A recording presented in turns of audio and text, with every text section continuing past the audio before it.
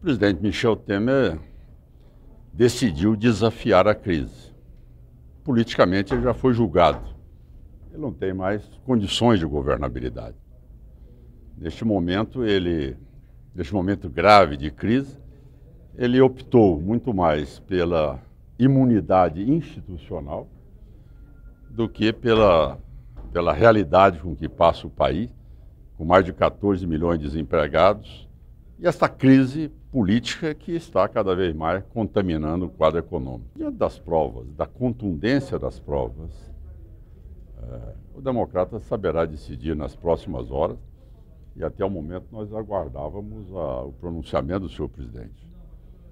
Aguardávamos uma atitude de estadista e que tivesse a condição de poder, nesta hora, entender a gravidade com que passa o país e ter o gesto maior da renúncia para que nós buscássemos não uma saída é, de ajeitamento, mas uma saída definitiva para o país, poder é, buscar uma solução para o quadro político que vem degradando a cada momento e levando o país a essa deterioração. Diante da, da recusa é, dos fatos em que foram levados ao conhecimento de toda a população brasileira, tá o gesto que se esperava era a renúncia até para minimizar tá certo? e dar mais celeridade a uma solução para a crise instalada.